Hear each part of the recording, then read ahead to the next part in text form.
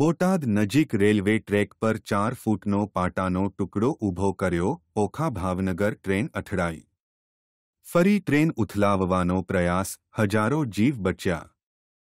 બોટાદ ના કુંડલી ગામ નજીક મોડી રાત્રે રેલવે ટ્રેક પર 4 ફૂટ ઊંચા પાટાનો ટુકડો કોઈએ ઊભો કરી દીધો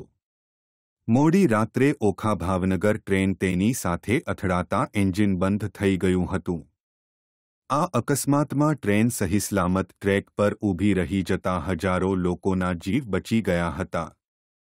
ઘટનાની તપાસમાં ડોગ સ્ક્વોડ ડ્રોન કેમેરાની પણ મદદ લેવાઈ રહી છે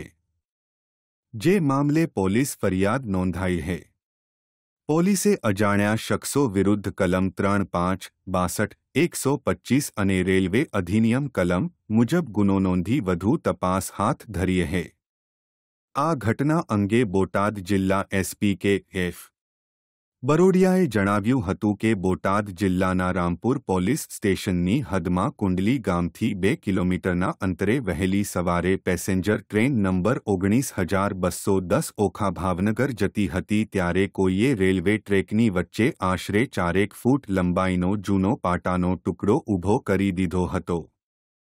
जेना लिधे ओखा भावनगर ट्रेन અથડાતાતે ઉભી રહી ગઈ હતી